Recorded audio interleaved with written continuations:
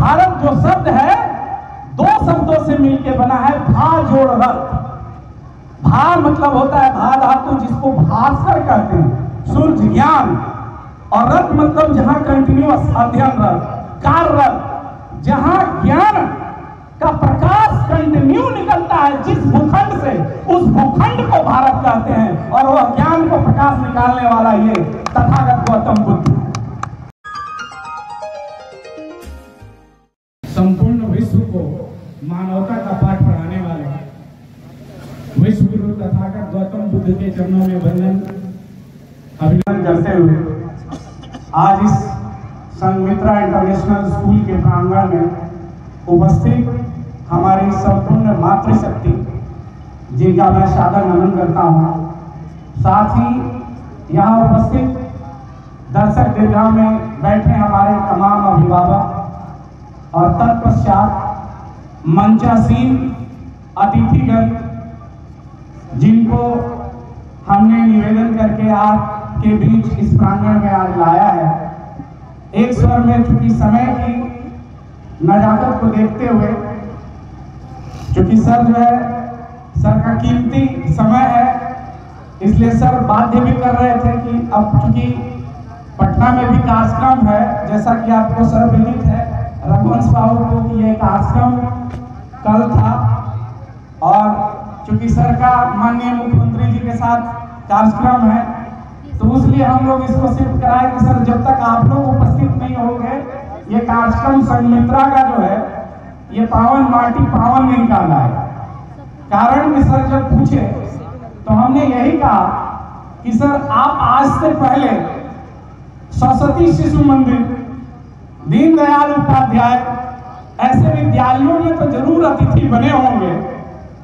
कभी सावित्री शिशु विहार और संमित्रा इंटरनेशनल में भी तो अपना कदम लेकर आइए। तो आप मेरी भावनाओं को समझ रहे होंगे, जिस विचारधारा की बात कर रहे हैं, और खासकर ये सबरा का शोध क्लब करता है, हमारी इस भावनाओं को समझ रहे होंगे। क्योंकि अभी अभी हमारे प्रवक्ता महोदय कह के गए? कि हम अपने बेटे और बेटियों को, अपनी बच्चियों को अगर बहुत धन संपदा नहीं है तो अगर इतनी शिक्षा नहीं दे सकते हैं तो इतनी शिक्षा ज़रूर दीजिए कि भारत के संविधान के उस प्रस्तावना में जो बातें लिखी गई जो बातें लिखी गई हैं, उसको अक्षरशः पढ़ ले और पढ़कर समझ ले। बस उतना ही अगर कर लिया तो वो लड़ना सीख जाएगी। और जो लड़ेगा, वो पढ़ेगा। और जो पढ़ेगा, वही लड़ेगा। और पढ़ के लड़ने वाला ही अंत में युद्ध का विजेता होगा। क्योंकि लड़ाई तो हमने बिहार की धरती पर, छत्तीसगढ़ की धरती पे हमारे भाई बंधु ही लड़ रहे हैं। और कारगिल के बॉर्डर पे हमारे भाई बंधु ही लड़ रहे हैं। लेकिन क्या जीत जहाँ जिस चीज़ को जीतने हम चले थे, क्या उसको हम जीत पा रहे हैं? इस आज़ाद भारत में।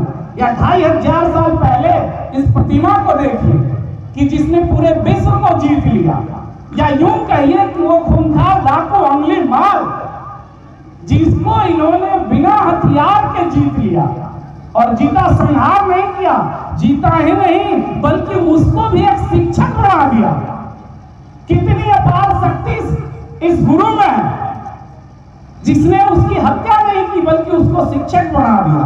जहाँ तक बात हमारे अतिथि लोग कर रहे थे कैरेक्टर और नैतिकता की तो ये भगवान बुद्ध की धरती है, जिसमें हमने एक अम्रपाली नाम की वेश्या को भी एक बहुत बड़ी शिक्षिका बना दिया। ये शक्ति है, ये शक्ति है शिक्षा और या ये सारी शक्तियाँ कहीं ना कहीं इसी प्रांगण से होकर निकलती हैं। तो इसलिए मैं बहुत ज़्यादा न करते हुए आज इस प्रांगण में इस विद्यालय के जो निर्माता है, व्यवस्थापक है, और सबसे बड़ी बात जो यहाँ से घोषणा कर रहे थे कि इसकी जो ईंट जोड़े हैं मंसूर आलम साहब, अभी तक तो हमने बहुत से कार्यक्रम सुने थे या राजा रानी की कहानियों में सुनते थे कि उनका ताजमहल जो बनाता है तो अंत में जब सुंदर बन जाता है तो फिर राजा कहता है कि हम इसका हाथ कटवा दो। कि ऐसा सुंदर दोबारा ताजमहल ही न बना सके लेकिन ये पहली बार हमने देखा है इस प्रांगण में आकर। और ये तथागत बुद्ध की कृपा है कि जो मिस्त्री, जो लेबर बनाया है, उसको आपने संदेह मान के कह रहे थे कि आप में आइए, क्योंकि इस संघमित्रा विद्यालय की ईट में आपका हुनर और कौशल लगा है। ये है तथागत बुद्ध की समता, बंधुत्व और मैत्री का विचार। और मैं समझता हूँ, यही इस विद्यालय से हमेशा बारंबार निकलना चाहिए। इस देश का भारत, तथाकथित कुछ लोग कहते हैं कि राजा भरत के नाम पर पड़ा। लेकिन मैं बोलता हूँ, मैं आपको और सदन को बताऊँ कि भारत के नाम पर नहीं, ये भारत जो शब्द है, दो शब्दों से मिलकर बना है भा जोड़ रथ। भा मतलब होता है भा धातु जिसको भास्कर कहते हैं। सूर्य ज्ञान। और रथ मतलब जहाँ कंटिन्यूअस अध्ययन रथ कार रथ, जहाँ ज्ञान का प्रकाश कंटिन्यू निकलता है जिस भूखंड से, उस भूखंड को भारत कहते हैं। और वह ज्ञान को प्रकाश निकालने वाला ये तथागत गौतम बुद्ध। बताइए, उस माटी के हम लोग हैं। तो हम यहीं से उस बीज को प्रत्यारोपित करें कि फिर से ये विश्व गुरु बने। और विश्व के लोग, दूसरे देशों के लोग यहाँ पढ़ने के लिए आए। इसलिए जाते जाते अभी हमारे उद्घाटन करता महोदय एनआईटी पटना के प्रोफेसर साहब ने कहा कि एक उदाहरण दिया है। इस विद्यालय के शिक्षक और शिक्षिकाओं के लिए कि उन्होंने क्या कहा आईटी दिल्ली का जो विद्यालय है जहाँ पे उनकी छोटी सी बच्ची का एडमिशन कराया था, उन्होंने क्या कहा तीन चार साल तक इसको पेंसिल नहीं देना है। सर, इसको पढ़ने के लिए बाध्य मत कीजिएगा।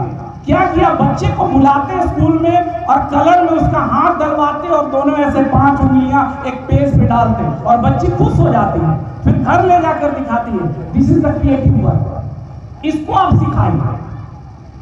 यहीं से बच्चे का जो है, यहाँ इंटेलेक्चुअल लेवल बढ़ेगा ग्रो करेगा। कभी भी बच्चे को वोकल बनने दीजिए। अगर घर में छोटा बच्चा बहुत बोलता है तो अक्सर हमारे बड़े बुज़ुर्ग कहते हैं कि, बोलेगा ज़्यादा अभी तुम्हारा उम्र हुआ है। अरे भाई, उम्र नहीं हुआ है, तभी तो कुछ भी बोल रहा है। जिस दिन उम्र हो जाएगी, पता अभी दबाते दबाते उस समय नहीं बोलेगा। और जिसके घर के माँ बाप उसको बोलने के प्रेरित करते रहे, भले ही वो झूठ ही बोलता रहा तो बोलते बोलते कहा पहुँच गया ये बोलने भोकल होने की ही कला है। किसी को पता है किसकी डिग्री क्या है? लेकिन आज हम सबके संदेह है क्यों? क्योंकि उनके पास बोलने की कला है। शायद उनके गुरुओं ने जहाँ वो शिक्षा ग्रहण की, उन्होंने बोलने की ट्रेनिंग दे दी उनको। और आज हम अपने शीर्षक पदों पर रखे हुए हैं। इसलिए कभी भी किसी भी बच्चे को जब वो वोकल होता है आपके विद्यालय में उसको दबाइए नहीं सप्रेस नहीं कीजिए। और एक बड़ा गंभीर सा शब्द है, जिसको हम सरेआम यूज़ करते हैं, खासकर विद्यालय में। साहब गुरु जी आप भी और यहाँ जितने भी शिक्षक हैं, मैं उनसे भी निवेदन करता हूँ, एक शब्द का बारंबार इस्तेमाल किया जाता है विद्यालय में, और क्लास में हम क्या कहते हैं? गधा कहेंगे समझ में आया ये इतना कॉमन शब्द है, गधा। मतलब हमको लगता है कि 99 परसेंट टीचर इस शब्द का इस्तेमाल करते हैं अपने बच्चों के क्या मैं गलत हूँ? मैं गलत हूँ क्या? 99 परसेंट जो शिक्षक हैं, वो क्लास में जब चिढ़ते हैं तो बच्चे को मारते हैं, प्यार से ही सुधारने के लिए। एक माँ भी अपने बच्चे को मारती है, लेकिन सुधारने के लिए। तो एक टीचर एक शिक्षक, शिक्षिका भी बच्चे को डांटते और कहते हैं कहीं के तुमको समझ में नहीं आ रहा है। अरे भाई, जब उसको समझ में आता तो यहाँ आता। यहाँ आया किस लिए? और इस बात पर मैं बड़ा कंफ्यूजन में हूँ, क्योंकि आज हम, हमारे बीच गणवान लोग हैं और हमसे विद्वान में है, गार्जियन है, अभिभावक है, सर, ये प्रश्न बारंबार मेरे मन में चलता रहता था। क्योंकि मैं साइंस का स्टूडेंट रहा हूँ, मैं भी इस पेशा से जुड़ा हूँ तो मैं सोचता था कि कभी घोड़ा और बकरी को बात करते देखा है आपने? कछुआ, खरगोश को बात करके देखा है?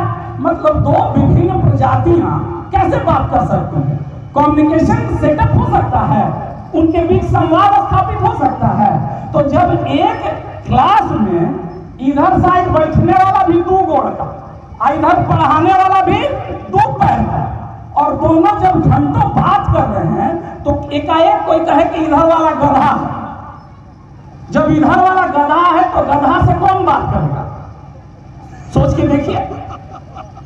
गधा से कौन बात कर सकता है? इसका मतलब कि सीनियर गधा होगा? सुपर गधा होगा? इसलिए इस बात का आज से जितने भी शिक्षक हैं, इस विद्यालय के प्रांगण में संकल्प लीजिए आप लोग कि कभी बच्चों को गधा नहीं कीजिए, क्योंकि मैंने तो कहना छोड़ दिया। क्योंकि जैसे एक बार गधा कहेंगे तो हम उसके सीनियर है तो गधा का गुरु कौन सी महागधा। तो शब्दों का शब्दों का चयन, यहीं से भाषा शैली की बात आ रही थी, शिलालेख की बात आ रही थी, ब्रह्मलिपि की बात आ रही थी। उसका चयन करेंगे। और चूँकि समय बहुत ज़्यादा हो गया है, मैं बहुत अधिक समय नहीं लूँगा। अभी अभी शॉर्ट में एक बात कह दूँ क्योंकि यहाँ बहुत विद्वान जन आए हैं, अपनी बात रख के गए हैं। तो देखिए, इस बात पर मुझे बस इतना ही कहना है क्योंकि सम्राट अशोक क्लब के कार्यकर्ता, हम सब बहुत ज्ञानी नहीं हैं। हमारा संगठन जो है, बहुत पढ़े लिखों का संगठन नहीं है। हमारे बीच तो सब धान और गेहूँ उपजाने वाले लोग हैं। लेकिन मेरा बस यही कहना है कि जो ज्ञानी है, जो विद्वान है, मैं अपने काज करता हूँ और जो हमारे विचारधारा पे काम कर रहे हैं, जो सावित्री को लेकर चल रहे हैं, जो इस अच्छा इस शिक्षा को लेकर आगे बढ़ रहे हैं, इसको हथियार बनाना चाहते हैं कि घबराइए नहीं। बहुत लोग आपके मंच में आएँगे, लंबी लंबी बातें करके चले जाएँगे। तो मेरा सिर्फ़ यही कहना है कि वो तो ज्ञानी है, वो तो ज्ञानी है, उनको तो सिर्फ़ बात काटनी है। वो ज्ञानी है तो सिर्फ़ बात काटनी है और हम और आप तो जुगनू है। हमें ये स्याह रात काटनी है। हमें ये अंधियारी रात काटनी है, इसलिए अपने इस जज्बे को बरकरार रखिए और जहाँ तक बात आ रही है इंग्लिश मीडियम स्कूल की कि सीबीएसई या किसी बिहार बोर्ड से इंग्लिश मीडियम में हम लोग कहीं ना कहीं ट्रांसफॉर्मेशन हो रहा है, हम परिवर्तित हो रहे हैं। एक आकांक्षा पैदा हो रही है कि इंग्लिश सीखना चाहिए, ज़रूर सीखना चाहिए। आज का वक्त का मांग नहीं इंग्लिश सीखेंगे तो फिर कम्युनिकेट कैसे करेंगे बाहर तो उसे इंग्लिश की बातों में, सर, शिक्षा किस लिए ज़रूरी है और शिक्षा का महत्व क्या होना चाहिए? मैं यहाँ तमाम जितने भी मंचासी, चाहे बहुत प्रबुद्ध जन ही क्यों न हो, शिक्षा का मैं एक मतलब है, एक टेलर शिक्षा के शिक्षा में बहुत बड़े कई रिसर्चर हुए, ज्ञाता हुए। टेलर कमीशन शिक्षा के बारे में कहती है, पढ़ाने के बारे में कहती है। उन्होंने चार फॉर्मूला दिया। एजुकेशन का मतलब क्या होना चाहिए? एजुकेशन का उद्देश्य क्या होना चाहिए? उसके लिए चार बात उन्होंने कहा है। तो उसको ध्यान से समझिएगा, सर। और जिस दिन इस चार बात को हर वो पढ़ने वाला, हर वो पढ़ाने वाला, चाहे आईएएस बीसीएस अधिकारी डॉक्टर इंजीनियर जिस दिन जिस दिन इन चार बातों को पढ़कर अपने अंदर उतार लिया, समझ लीजिए तो इस फिर से सोने की चिड़िया बन जाएगा।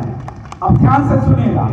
एक स्टेज पहला लॉ दूसरा लॉ तीसरा लॉ तो सब लोग पार कर जाते हैं और उसको फॉलो भी करते हैं। लेकिन चौथा जो नियम है डेलर आयोग का डेलर कमीशन का, उसको नहीं कर पाते। और शायद डॉक्टर एपीजे कलाम ने अपनी किताब में इसी को मेंशन किया था। और जब लास्ट में उनकी मौत हुई थी हार्ट अटैक आने से नॉर्थ ईस्ट में आईएएम में तो उन्होंने शायद इस चौथे प्रश्न का ही जवाब असाइनमेंट के रूप में मांगा था।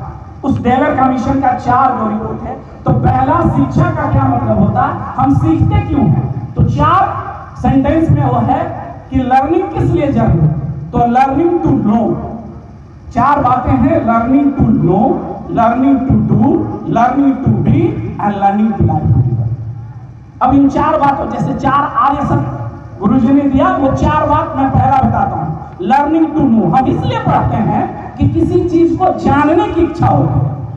नो मतलब जानना लर्निंग टू नो किसी चीज़ को जानने के लिए हम पहले पढ़ते हैं। और जब उस चीज़ को जान लेते हैं कि भाई बायोलॉजी में क्या होता है इंजीनियरिंग में क्या होता है, जब जान लेते हैं तो दूसरा स्टेप आता है learning to do learning to know के बाद लर्निंग टू डू जब वह ज्ञान आप अर्जित कर लेते हैं तो उसको आप प्रैक्टिकली करने जाते हैं।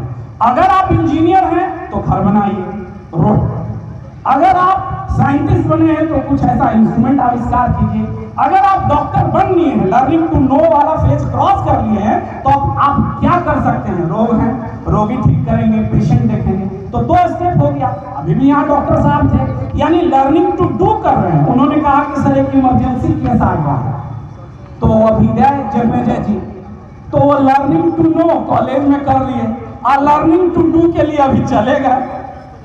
अब तीसरा स्टेप मैं बता रहा हूँ। जो डॉक्टर बन जाता है, इंजीनियर बन जाता है, आईएएस बन जाता है, आईपीएस बन जाता है तो तीसरे फ़ेज़ में चला जाता है। Learning to know, learning to do, और तीसरा है लर्निंग टू बी। मतलब समाज में अपने आप को स्थापित करना। समाज में एक सम्मानजनक पोस्ट पद पाना। यह है तीसरा स्टेप पढ़ने का। लर्निंग टू बी अब कुछ कुछ देखिएगा खूब पढ़ लिया, पैसा कमा लिया, कभी समाज में कोई इज़्ज़त ही नहीं तो शिक्षा का मतलब होता है तीसरा कि आप समाज में है क्या? ये पता चलना चाहिए। जैसे कोई गद्दारी भाई, वो बहुत बड़ा ख्याति प्राप्त डॉक्टर है। Doctor CP Thakur, Gopal Narayan. तो ये वशिष्ठ नारायण एपीजे कलाम। तो एक्चुअली एपीजे कलाम को आप इसलिए जानते हैं कि उन्होंने तीसरे स्टेप को भी क्रॉस कर दिया था। Learning to know learning to do missile बनाकर और learning to be as a president as a scientist लेकिन चौथा जो लॉ है, उसका उत्तर उनको भी नहीं मिला। और शायद बिना उत्तर के वो इस दुनिया को छोड़ गए। और चौथा स्टेप क्या था, उसमें ध्यान पहला क्या था, पढ़ना। पढ़ के कुछ करना। और करते हुए उसमें इतना माहिर हो जाना कि उसी नाम से आपको लोग जानने लगे और चौथा और अंतिम स्टेप था learning to know learning to do learning to be और चौथा है लर्निंग टू लाइफ टूगेदर जब आप पढ़ लिख के बड़े पदाधिकारी नामचीन हो गए तो आखिर आपने कौन सा ऐसा काम किया कि आपका समाज एक साथ बंद के रहे, एकजुट होकर रहा? अगर जिस दिन आपने इसको कर दिया, तब शिक्षा का चारों स्टेप आपने पूरा कर आपके एसडीएम आपके डीएम आपके डॉक्टर बनने से समाज को क्या वो तो learning to do learning to know learning to be है। समाज को आपने पे बैक टू सोसाइटी के नाम पे क्या दिया आपने? बड़ा हुआ तो क्या हुआ? जैसे पेड़ खजूर और पंथी को छाया नहीं फल लागे और आए दिन ये होता है, समाज के अंग्रणी पंक्ति में बैठने वाले लोग उसी ग्रह से निकल के जाते हैं और बहुत दूर बैठ जाते हैं। कभी तो पे बैक सोसाइटी पे काम कीजिए और जिस दिन आप करने लगेंगे, समझिए शिक्षा का चारों स्टेप आपके अंदर आ गया। वरना पढ़ने का तीन ही स्टेप कर पाए, चौथा स्टेप आपके पास आया ही नहीं। तो इसलिए इन्हीं सब बातों के साथ मैं कोशिश करूँगा कि आपके, हमारे समाज के जितने लोग हैं, और शायद यही बात किसी ने मुझे भी कही तो मुझे भी लगा पढ़ तो मैंने भी बहुत लिया। अब वो वक्त आ गया है कि परिवार को कैसे आप बाँध के रखेंगे, समाज को कैसे बाँध के रखेंगे। विभिन्न जाति धर्म संप्रदाय के लोगों को बाँध के कैसे रखेंगे? जिस दिन इस देश को फिर से अखंड सा, सारे जाति धर्म संप्रदाय के लोग मैत्री भाव से रहने लगे समझ लीजिए कि इस देश में शिक्षित लोगों की संख्या बढ़ रही है और जब तक यह नहीं हो रहा है तब तक समझ लीजिए ये कमी शिक्षित लोग हैं ये बस तीन ही स्टेप पाए हैं अपने लिए उससे ज़्यादा कुछ नहीं। इसलिए इन्हीं चंद बातों के साथ मैं अपनी वाणी को विराम दूँगा और कोशिश करूँगा संमित्रा इंटरनेशनल स्कूल से आह्वान करूँगा और तमाम हमारे विचारधारा के लोगों से कि घबराइए नहीं, ये शिक्षा का अलग जगाते चलेंगे, क्योंकि इन्हीं खामोशियों के बीच से एक शोर आएगा। इन्हीं खामोशियों के बीच से एक शोर आएगा। और अभी तो उनका वक्त आया है, हमारा दौर आएगा, हमारा दौर। एक बार बहुत बहुत साधुवाद। आप सभी को सजग भारत, श्रेष्ठ भारत, अतुल्य भारत। जय भारत। साथियों, नेशनल जनमंच को सब्सक्राइब करें। साथ ही बेल आइकन की घंटी को बजाएँ।